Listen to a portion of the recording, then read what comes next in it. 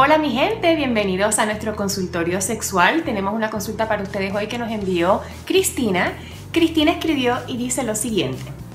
Hola Alessandra, hace unos días quise practicarle sexo oral a mi pareja, algo que nunca antes había hecho, y me llamó mucho la atención un líquido medio pegajosito que le salía de su pene. No era semen, explica ella.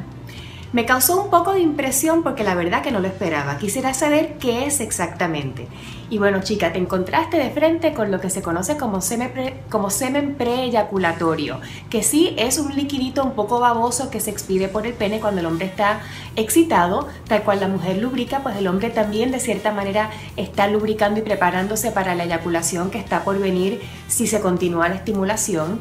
Este, este liquidito o esta, sí, eh, esta babosidad que se expide contiene espermatozoides, así es que ojo porque sí con ese contacto previo a una eyaculación es posible un embarazo no deseado y ciertamente como hay este nada, fluidos corporales que están saliendo en contacto contigo, cualquier ranurita en la boca, cualquier golpecito, cualquier contacto de fluido con fluido va a generar este infección de enfermedad de transmisión sexual, así es que mucho ojo con eso, precaución, este, y siempre y cuando mantengas así los estándares básicos de higiene y de precaución en el sexo, pues vas a estar súper bien. Así es que tranquilita que es simplemente algo normal que le pasa a todos los hombres y se llama oficialmente semen preeyaculatorio.